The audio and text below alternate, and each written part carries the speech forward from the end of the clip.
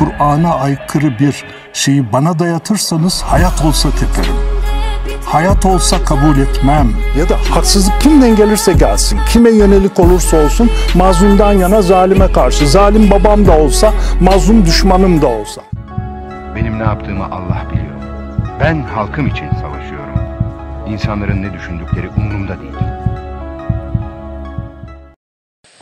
Tabii bununla ilgili bir defa iddialar çok ciddi, çok sıkıntılı konular. Bir. ikincisi iddia edilen e, kişiler, bu sıkıntılı işleri yaptığı iddia edilen kişiler çok kritik, çok önemli görevde olan kişiler.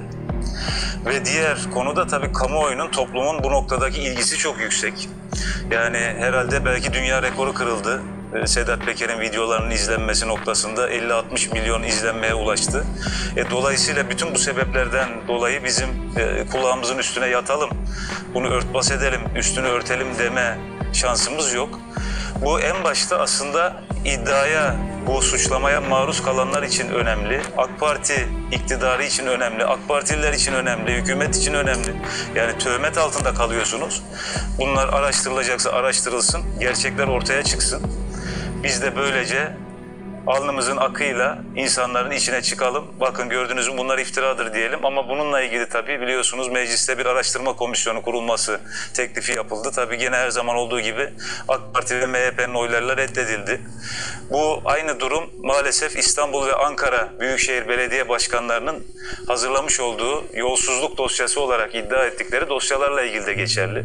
İşte sadece İstanbul Büyükşehir Belediye Başkanı 50 tane dosya hazırladım.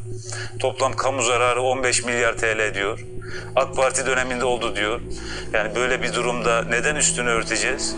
Gel kardeşim ne iddiam varsa bunları ortaya koyalım, araştıralım. Doğruysa da AK Partili de olsa, babamızın oğlu da olsa gereken cezaya çarptıracağız duruşunu sergilemesi gerekir.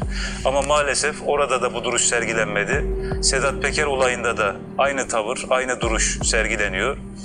Tabii efendim dış güçler bu işleri yapıyor. Ya dış güçlerin size bir şey yapması için dış güçlerin oyununu bozacak adım atmanız lazım. Yani siz hangi noktada dış güçlerin ajandasına aykırı bir adım attınız? Malatya'da Kürecik'te radar sistemini kurun diyorlar. Kuruyorsun. Afganistan'a asker göndereceksin, gönderiyorsun. Rahip Branson'ı geri ver diyor, veriyorsun. E, Kıbrıs'ta anlam planına destek ol diyor. Yıllarca anlam planına destek oluyorsun kanunlarını Avrupa yapacak diyor. Avrupa Birliği'nin ne dediyse yapmadık diyorsun. Bütün kanunları ona yaptırıyorsun. İncirlik üstünü kapatmıyorsun. Sanayi üretimini, tarım hayvancılık üretimini yarı yarıya azaltıyorsun. 530 milyar dolar borç faizi haraç ödüyorsun.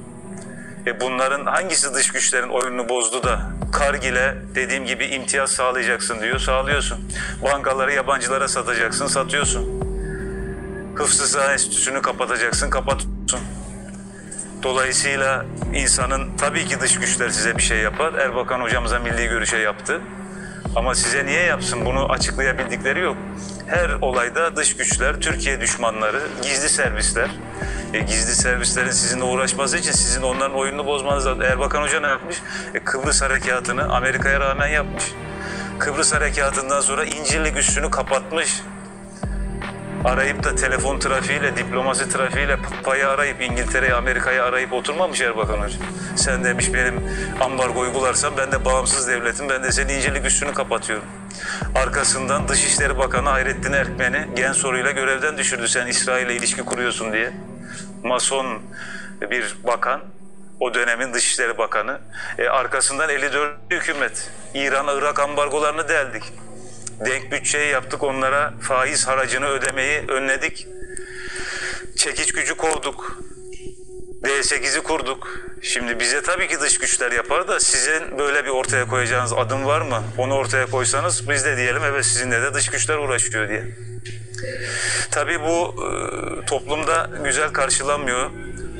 Efendim haberlere erişim engeli, erişim engeline erişim engeli, bu sefer bu üstünü örtme çabası, her şeyin önünü kapatmak, her şeyi dış güçlere bağlamak bu sefer daha büyük şüphelere yol açıyor.